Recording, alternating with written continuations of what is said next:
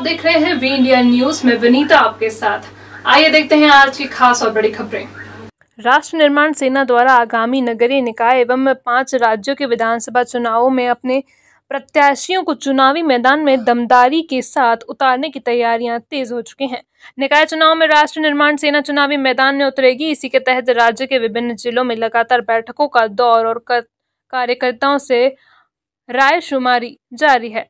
राष्ट्रीय संयोजक रवि चाणक्य एवं राष्ट्रीय उपाध्यक्ष व मध्य भारत जोन के प्रभारी सूरज ब्रह्मे अपने एक दिवसीय दौरे पर रतलाम के लिए रवाना हुए। यहाँ पहुँचने पर स्थानीय सर्किट हाउस में राष्ट्र निर्माण सेना के प्रदेश संगठन महामंत्री डॉक्टर शंकर सिंह राठौर एवं मालवा प्रांत के प्रभारी ओम मेहर ने फूल माला व गुलदस्ता भेंट कर संगठन के दोनों नेताओं का भव्य स्वागत किया। यहाँ हुई बैठक को संबोधित करते हुए राष्ट्र निर्माण सेना के राष्ट्रीय संयोजक रवि चाणक्य ने कार्यकर्ताओं को संगठन को मज़बूत बनाने के मूल मंत्र दिए। साथ ही राष्ट्र निर्माण सेना का उद्देश्य बताया और कार्यकर्ताओं को अनुशासित रहने की प्रेरणा दी। इस दौरान राष्ट्रीय उपाध्यक्ष एवं मध्य भारत जोन के प्रभारी सूरज ब्रह्मे ने कहा कि संगठन को मज़बूत बनाने के लिए उनके द्वारा पूरे मध्य प्रदेश का दौरा किया जा रहा है।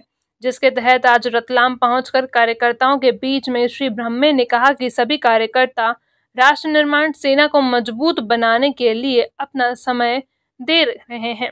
हर कार्यकर्ता कम से कम पाँच घंटे राष्ट्र निर्माण सेना को दे। आगामी समय में होने वाले नगरीय निकाय चुनाव के लिए सभी कार्यकर्ता तैयार रहे। बैठक में मालवा प्रांत के प्रभारी गोपी मेहर गोपाल भारती शैलेश प्रेमी जितेंद्र पवार भरत लाल राणा बशीर अहमद खान अकील खान अनोखी दास बैरागी गोविंद चौहान सुनील सांकला जितेंद्र पवार एवं गतिमान सिन्हा के साथ अन्य कार्यकर्तागण उपस्थित रहे। सबसे पहले तो आप अपना परिचय दीजिए सूरज ब्रह्मे राष्ट्रीय उपाध्यक्ष एवं मध्य भारत जोन का प्रभारी हूँ मैं राष्ट्र निर्माण सेना से।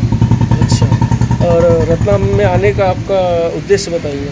देखिए, अभी राष्ट्र निर्माण सेना को मज़बूत बनाने के लिए पूरे प्रदेश का दौरा किया जा रहा है, जिसमें अभी रतलाम आने के पूर्व में डिंडोरी का प्रवास किया, डिंडोरी के कार्यकर्ताओं की बैठक लिया, फिर अमरकंटक गया, अमरकंटक से अनूपपुर अनूपपुर में बैठक लिया, उसके बाद शहडोल शहडोल में कार्यकर्ताओं की बैठक लिया, उसके बाद उमरिया उमरिया में कार्यकर्ताओं की बैठक लिया उसके बाद भोपाल और भोपाल से उज्जैन उज्जैन से देवास में वैष्णो देवी जा रही साइकिल यात्रा को हरी झंडी दिखाया।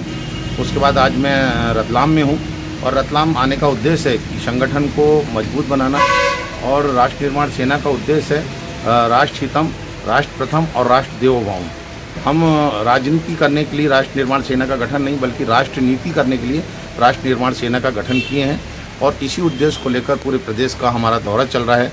हमारे साथ आदरणीय हमारे राष्ट्रीय संयोजक आदरणीय रवि चाणक जी भी हमारे साथ उपस्थित हैं। वो भी हमारे साथ उज्जैन, देवास और रतलाम के प्रवास पर हैं और उन, इसके बाद वो गुजरात निकल जाएँगे और मैं अपने गृह निवास निकल जाऊँगा।